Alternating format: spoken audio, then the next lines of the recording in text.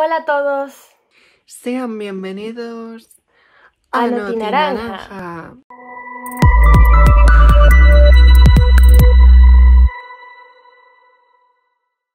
Bueno, Blue, ¿de qué vamos a hablar hoy? Anju, ¿no te has leído el guion? Sí.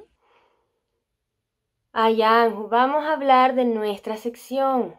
Ah, claro. Explicamos esta sección, ¿recuerdas? Hola a... No, Anju, no. Ya saludamos. Ahora toca explicar qué hacemos en esta sección. Claro. Este es el espacio donde vamos a hablar de las noticias más importantes de Wattpad, de los perfiles oficiales, de sus retos y también del club de lectura de los embajadores. Muy bien. Watalin te devolvió el plató. ¡Sí! Esperemos a que estén participando en los retos de los perfiles que son increíbles. ¿Lo dices por el reto de Wattpad Fantasies con la canción de Coldplay? Anju, eso no se dice. Oye, ¿has ¿Qué visto es ese ese dibujo? dibujito? Es ternurita.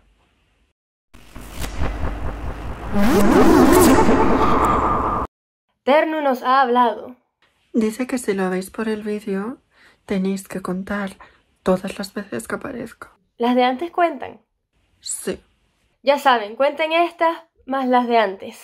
Dejadnos en la caja de comentarios cuántas veces creéis que ha aparecido. Y ahora pasemos a hablar de los perfiles oficiales.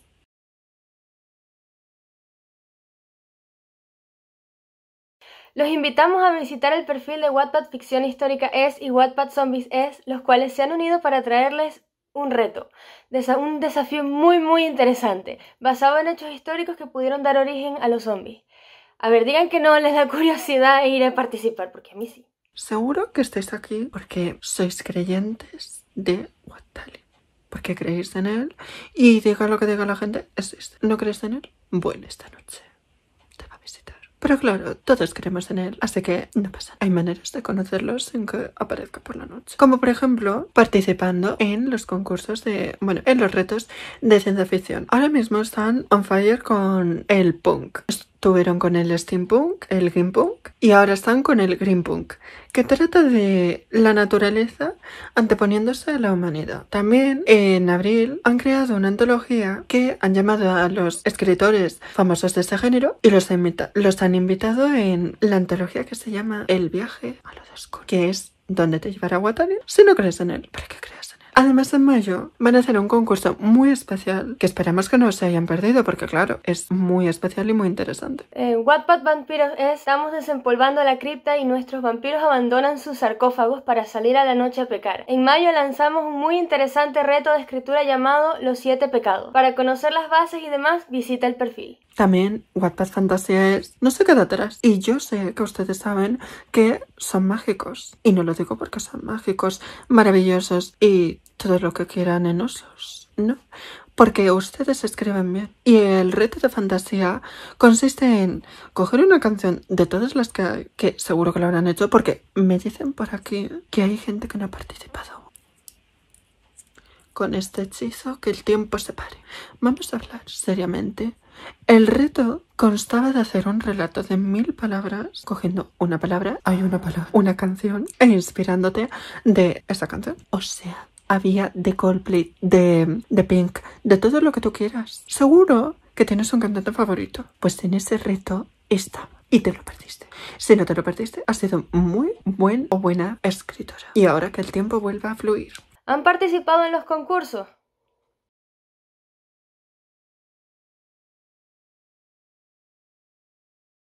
Pasemos ahora con una noticia mucho más importante y no por ello menos maravillosa. Sí, tengo un problema con la palabra maravillosa. Muchos ya lo sabrán. Se trata de... Seguro que se decimos A través de mi ventana de Ariana Godoy seguro le suena. Y es normal, ya que Netflix ha hecho una película. A través de mi ventana. Se encuentra actualmente en Netflix. Si la tienes, si ya la tienes y la puedes ver, ¿a qué estás esperando? Te recomendamos que la veas si no la has visto. Y si la has visto, que la vuelvas. Porque esa historia, que ahora es una película, pues, pues eso, que una vez no es suficiente. Ariana, ¡felicidades! Es solo es el comienzo de lo mucho que vas a conseguir.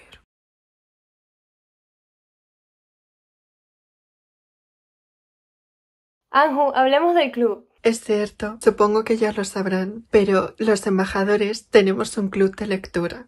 Ajá, es súper genial. Tenemos muchas dinámicas y leemos un libro mensual. Ahora pasemos con una cosa muy especial. Y es que tenemos una sorpresa. Es verdad. Con nosotros tenemos a Marce Peralta, la autora destacada de este mes del Club de los Embajadores.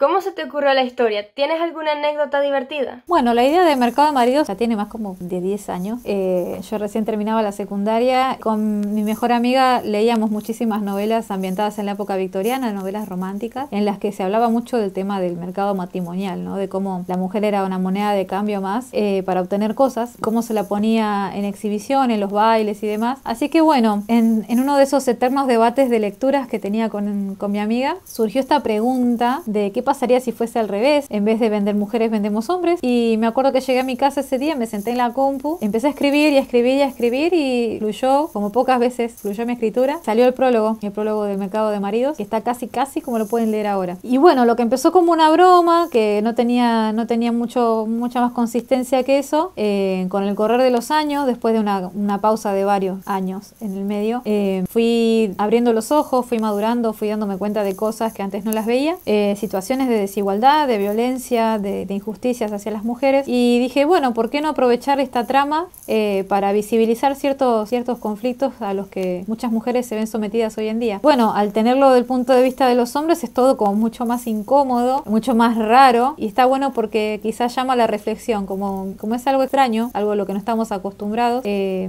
lo que por ahí por un en un primer momento te hace decir, no, nadie soportaría esto, nadie eh, lo permitiría, si uno hace la inversión de rol y, pone una mujer en ese lugar, se da cuenta que en realidad sí se permiten muchas cosas. Así que bueno, eh, me gusta que mi novela sea como, como una pregunta disparadora para, para ir cambiando ciertas cosas en nuestra sociedad. ¿Tienes algún proyecto en mente?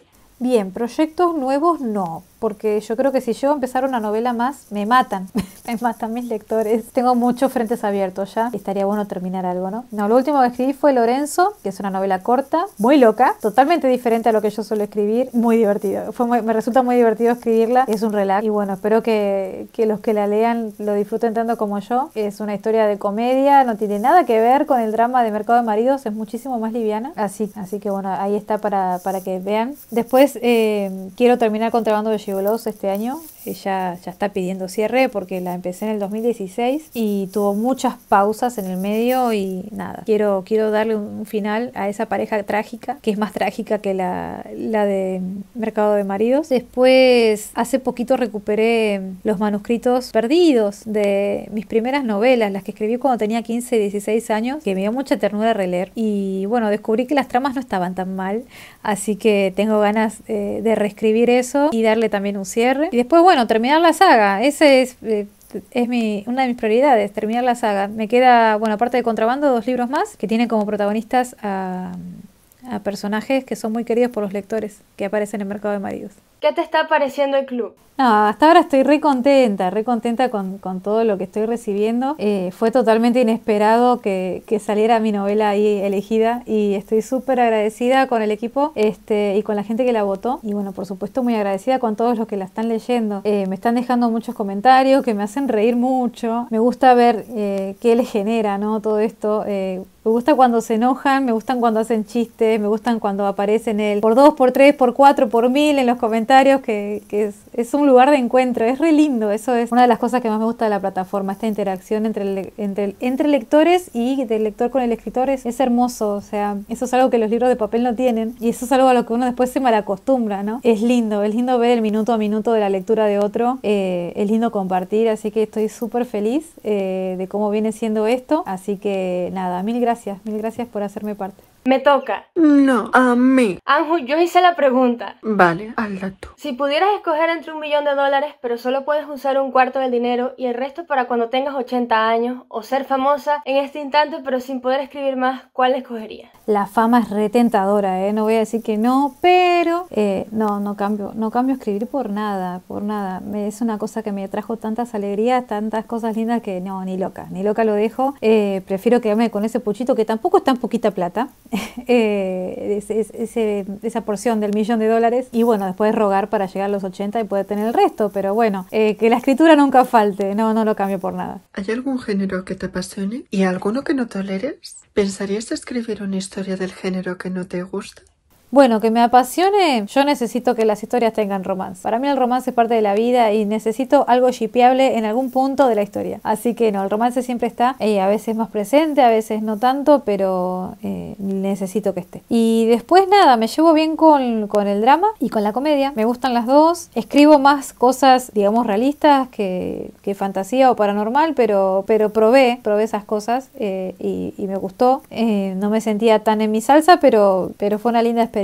Y así géneros que no tolere ninguno. Yo creo que todos tienen algo, algo muy bueno para sacar. Yo creo que si vos te tomás en serio eh, lo que vas a escribir, sea, sea el género que sea, está bueno, está bueno y, y te puede ayudar a crecer un montón. Nada, no hay nada que me disguste. Hay géneros a los que les tengo más respeto, como que me da miedito probar, o por su complejidad, o por, por desconocimiento, pero, pero no, probé de todo. Y, y no, me parece que todos, todos tienen algo rescatable, así que no tendría problema. Si, si alguien me desafía, porque yo, yo reacciono a, a los desafíos, si alguien me desafía, no sé, escribiste algo de terror y yo te lo voy a escribir. Bien o mal, pero te lo voy a escribir. Así que nada, eh, tengo la mente abierta en ese sentido.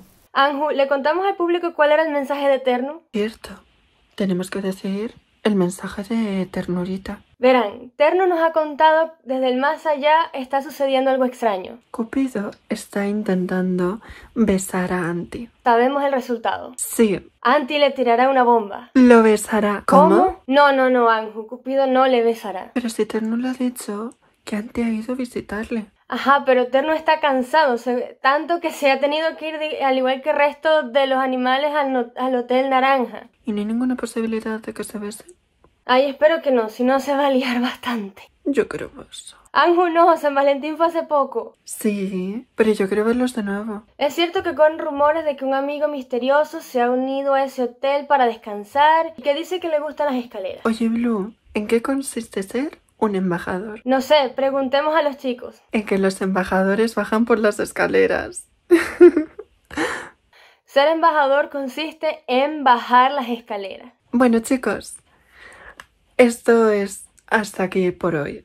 Nos vemos en el próximo vídeo. Bueno chicos, ha sido un placer, nos vemos en el próximo video. Bye. Uh. Chao.